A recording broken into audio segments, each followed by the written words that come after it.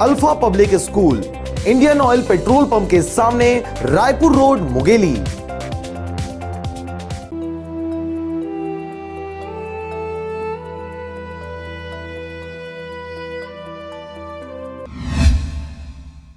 कोरबा के पोड़ी उपोड़ा ब्लॉक अंतर्गत आने वाले बांगो स्थित सीएसीबी पावर प्लांट में एक ठेका ड्राइवर की दमकल वाहन के पलट जाने से मौत हो गई।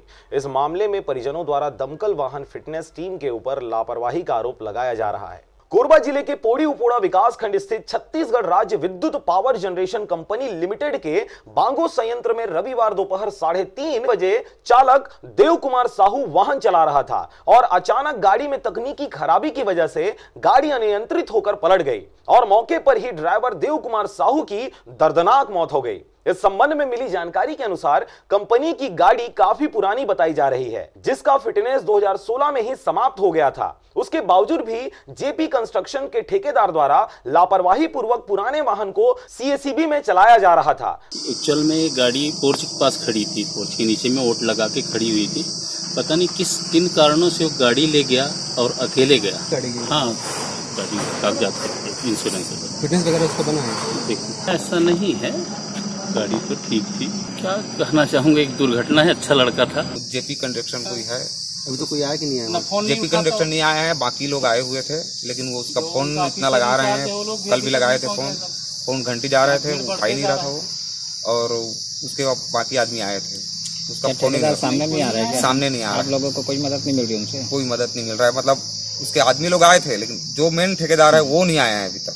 आरोप तो मैं उसके ठेकेदार के ऊपर डालूँगा। अच्छा। क्योंकि वो आया क्यों नहीं यहाँ तक?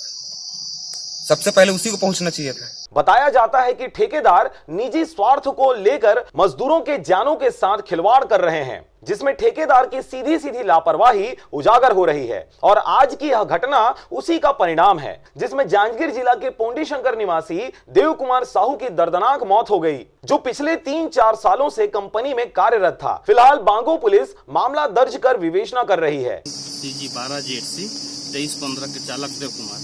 अपने गाड़ी को मेन गेट से प्लांट की जो पोर्च बना है, वहाँ पे खड़ा करने के लिए चालू कर ले जा रहा था कि गाड़ी अनबैलेंस होकर सामने जाके टकरा गया।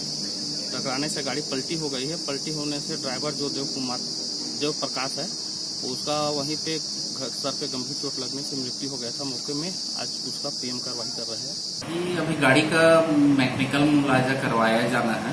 उसे स्पष्ट हो जाएगा कि किस कारण से गाड़ी अनियंत्रित होकर कटघोरा से जयप्रकाश साहू के साथ शारदा पाल एवं शशिकांत डिक्सेना की रिपोर्ट, आरजे रमजाजर